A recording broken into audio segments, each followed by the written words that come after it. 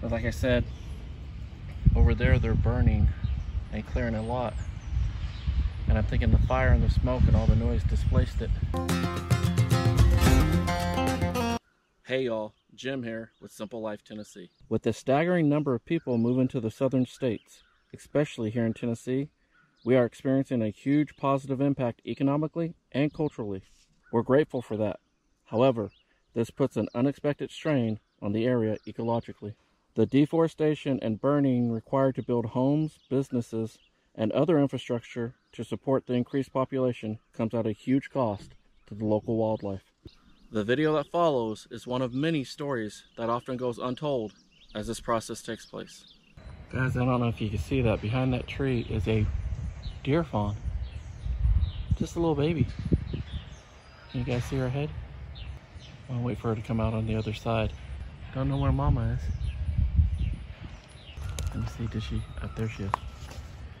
Do you guys see her now? Little baby deer fawn.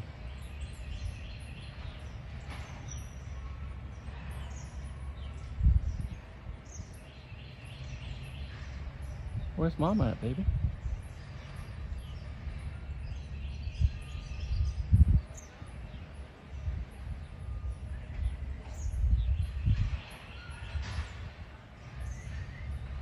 All the burning over there displaced it.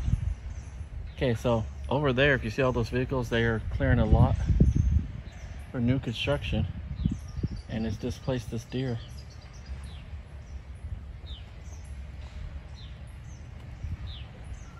I don't even think it knows I'm here. Let's get a little closer. Don't want to spook it. Just want to make sure it's okay.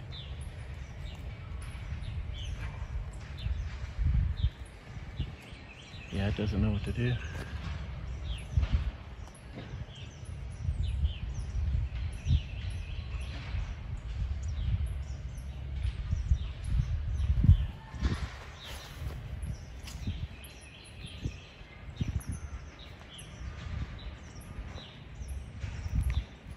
I don't even think it knows I'm here yet.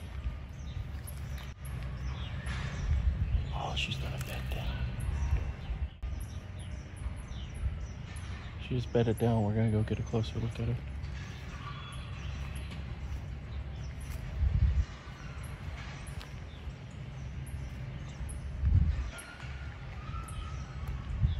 Can you guys see her?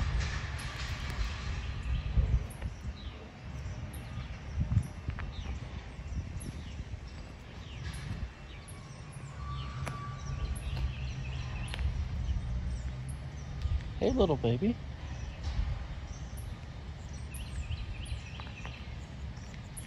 Oh, hey there, beautiful. Where's mama? Huh? It's okay. Where's mama at?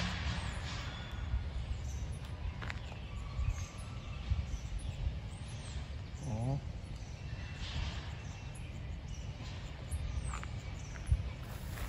You're okay. It's okay.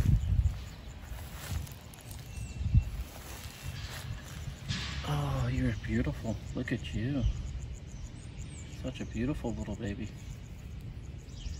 Guys, if you ever see a deer fawn in the wild, do not touch them. Don't put your scent on them. Obviously, if they're injured, that's different. But like I said, over there, they're burning and clearing a lot. And I'm thinking the fire and the smoke and all the noise displaced it.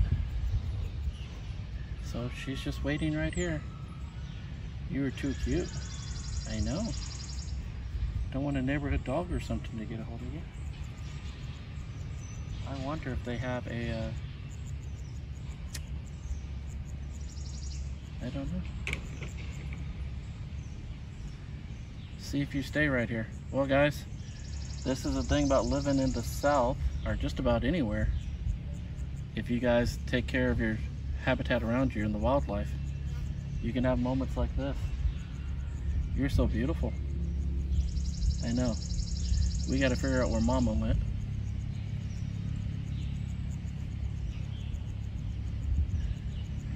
Guys, it's one of those precious moments that you don't expect. And that's why I love Tennessee. I live, love living in the South.